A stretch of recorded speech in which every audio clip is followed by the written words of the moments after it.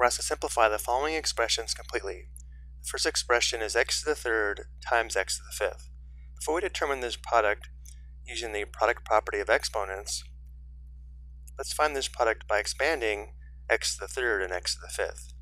Remember, the exponent tells us how many factors we have of the base. So x to the third is equal to 3 factors of x. So here's x to the third. We have times x to the fifth, so we have times 5 factors of x. So here's x to the fifth. Now if we find this product, notice how we have 3 plus 5 or 8 factors of x, which means this product is x to the eighth. By understanding this, it'll help us better understand the exponent property shown here below, where a raised to the power of m times a raised to the power of n equals a raised to the power of m plus n. This tells us when multiplying and the bases are the same, we add the exponents, where this sum tells us how many total factors of the base we have after multiplying. So applying the product property of exponents for x to the third times x to the fifth, we would have x raised to the power of 3 plus 5, which equals x to the eighth.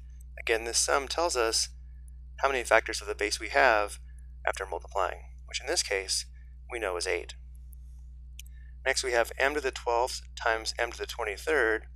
Now as the exponents get larger, determining the product by expanding becomes less efficient, so for the rest of the examples, we'll apply the product property of exponents.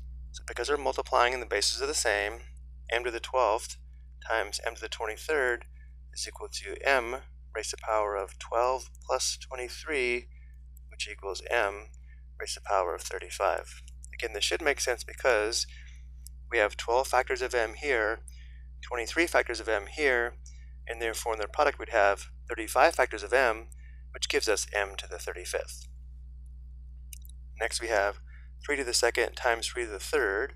So because we're multiplying and the bases are the same, we add the exponents, and the base stays the same, so we have 3 raised to the power of 2 plus 3, which equals 3 to the fifth. Again, we have two factors of 3 here, three factors of 3 here, which gives us 5 factors of 3, or 3 to the fifth. But for this example, because we have a numerical base, we can evaluate this by determining what 3 to the fifth is equal to. Let's first evaluate this on the calculator. So we enter the base of 3. This is the exponent key, sometimes called the caret. And then we enter the exponent of 5, and then enter, which gives us 243. To evaluate 3 to the 5th by hand, we'd have to expand 3 to the 5th, which means we have 5 factors of 3, and then multiply from left to right, which will give us 243. Now for the last expression, we have 2 to the 3rd plus 2 to the 2nd. We need to be careful in this example. Notice how we're not multiplying, we're adding, and therefore the product property of exponents does not apply.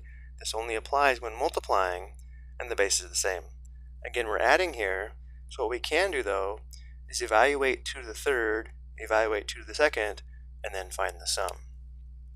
So if we're doing this by hand, 2 to the third means we have 3 factors of 2, plus 2 to the second or 2 squared means we have 2 factors of 2, and 2 to the third is equal to 8, plus 2 to the second or 2 squared is equal to 4, and therefore the expression simplifies to 8 plus 4, which equals 12.